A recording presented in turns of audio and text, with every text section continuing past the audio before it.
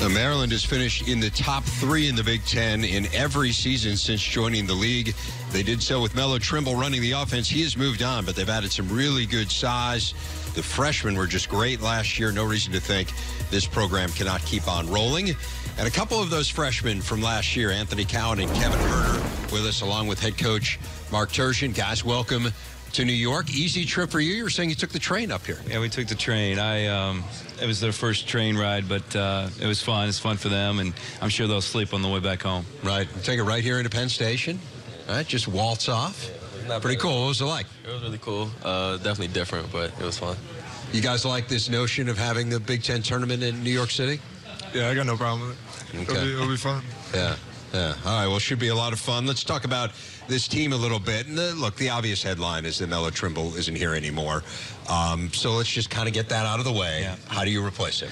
Well, you know, um, we'll do it by committee. We have a lot of really good players. Melo did a lot of great things for us. Uh, we won 79 games in his three years. We were 30 and eight in games defi- decided by six points or less. That's remarkable. Uh, yeah, he was terrific. But we have some we have a great backcourt sitting next to me right here that that'll step up. Melo was in 71% of our ball screens last year. Um, that'll be spread uh, with you know throughout the team this year. We have a lot of really good guards, uh, and we'll be a different team. We didn't post the ball last year. We'll be able to post the ball a little bit more this year, which I think will help us in late game situations. Yeah. How has your front line evolved?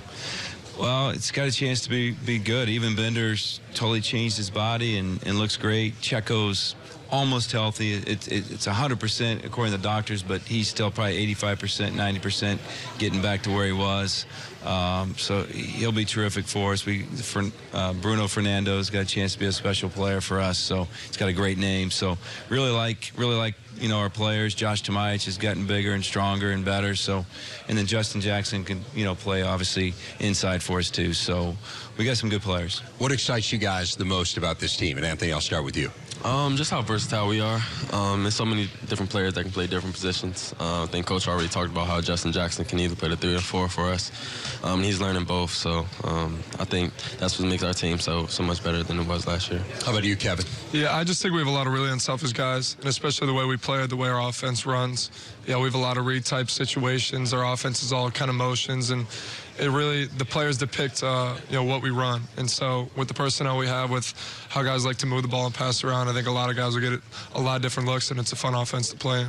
Who can be the best leaders on this team? I I think it starts with the guys obviously returning. Um, I think people at first will look towards me, Anthony, and Justin to do that. But I think Checo and Jared are two seniors, and Sean Obi, who's come in. I think they've also done a great job of being leaders. But um, yeah, I think me and Anthony, you know, starting off the two guys up here, I think we're definitely gonna have to step up and try to be more leaders this year. No, I agree with uh, I agree with Kevin. Um, it's not only going to be from us. Um, we also have two seniors, just like you said. Jared has has been talkative way more than he was last year, I think, and also also Checo, um, just leading the younger guys such as Bruno, who's not really used to uh, the style of play that we are we already have, but um, he's moving along. A lot of hype around Bruno. What can you tell us about his game? Uh, he plays hard. And he plays to exhaustion, and you get, put a little Gatorade in him, then he comes back and practices hard again. The kid just, I mean, I've never seen anything like it. Um, he's athletic. He's a big, strong kid. Um, doesn't have the normal freshman body. Um, guys like him a lot. They respect him. He's a good piece. Uh, wonderful kid. So um, we're excited about him. And then Darryl Morsell, our other freshman, is a terrific player. Um, play multiple positions for us. We, we wanted to get a little bit tougher. We had some tough guys. We had some bulk, and, and those two really help us in that area. I know that was an issue that concerned you last year, was you felt like you just weren't physically as tough as you wanted them to be. Yeah. It manifested itself at times in rebounding. Yeah. Do you feel like you're at a spot now where you can be the team that you envision, Mark? Yeah, well, we were just so young, and um, and we were little, and uh, so that had a lot to do with it. But yeah, we're a much better rebounding team. We're a different team, um, and I think we have a chance to be a really good team. You know. Um, you know, they're practicing hard. We're getting better. Uh, we have the pieces, like they said. We have a lot of really good pieces, and the pieces fit. We have a lot of very intelligent players. We do run a read and react offense, and we have a lot of guys that have a great feel and they really share the ball. So it should be a, a you know fun team to coach. It's your fourth year in the Big Ten. What are the biggest things that you've learned about this league? I mean, you've seen everyone a number of times now. What, stands out about it? Well, you can't you can't take any team for granted. You can't say, "Well, we're going to show up and beat that team." It's just not going to happen.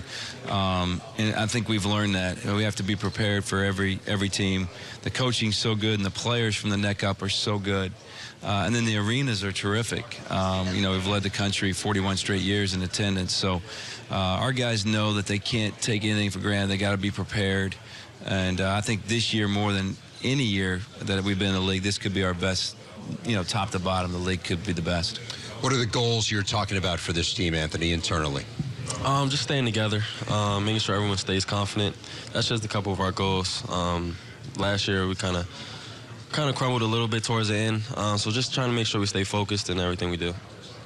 Yeah, I think we just want to finish out the year a lot better than we finished last year.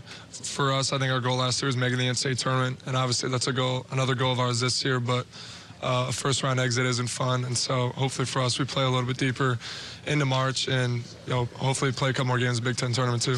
Biggest thing that needs to happen for that to happen. Uh, we have to stay healthy. And, you know, two guys, Checo and Dion Wiley, have been really hurt a lot the last couple years, would give us tremendous depth. Dion is not where he was before he hurt his knee, but he's really close. So he's back to the kid that we recruited, getting close to that kid. But if we stay healthy and we stay confident, because we got an unbelievably tough schedule, um, we should be doing what they're saying, being a better team down the stretch and having a chance to, to advance in tournaments. Coach, always fun to visit with you. Mark Turgeon, Anthony Cowan, Kevin Huerter. Thanks, guys. Thank you. Thanks.